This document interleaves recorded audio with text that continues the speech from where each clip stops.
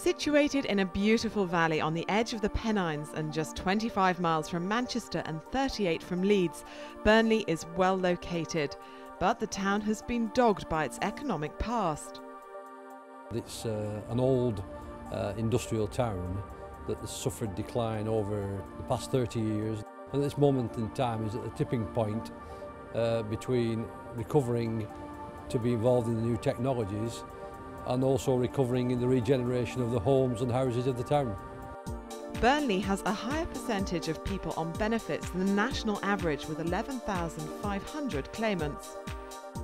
We need to regenerate the town, we need to regenerate the jobs, we need to bring into Burnley the jobs of the future that will replace the jobs of the past.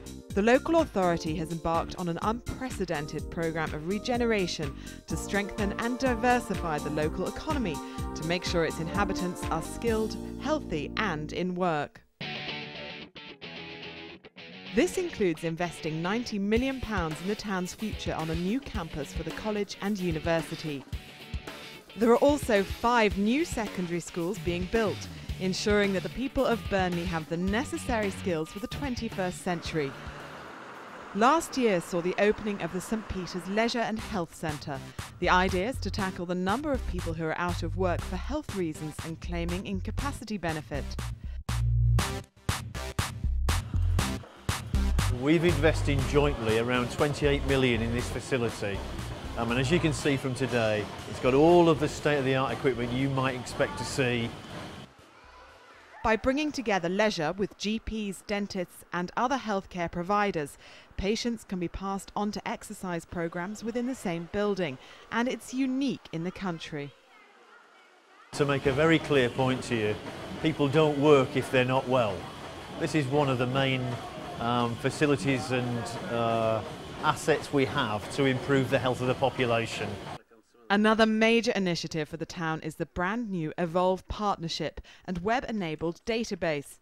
For the first time, all the agencies involved in helping the workless have been brought together in one easy to use place.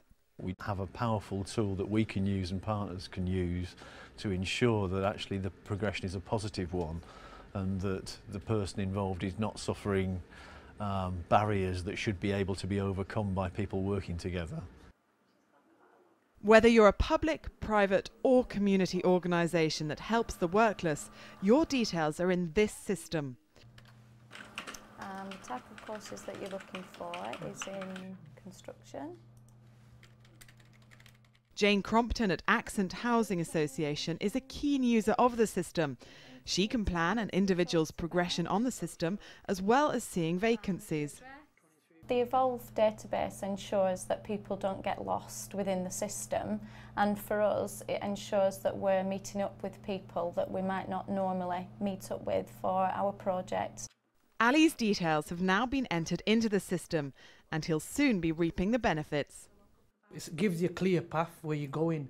You don't get lost here and there and it just, you know, you know, you what, what you want, you'll get it basically. With other innovations like the Lancashire Digital Technology Centre, which encourages new businesses and high growth startups into the area with its IT and conference facilities, the town is directly addressing its economic problems. The town is being transformed by the £1 billion of capital investment that's coming into the town from uh, a basically run-down industrial town to a futuristic, high-tech manufacturing town in a beautiful part of Lancashire where people will be delighted to live and work. With all this inward investment and innovation, the future of the town is looking sustainable and bright.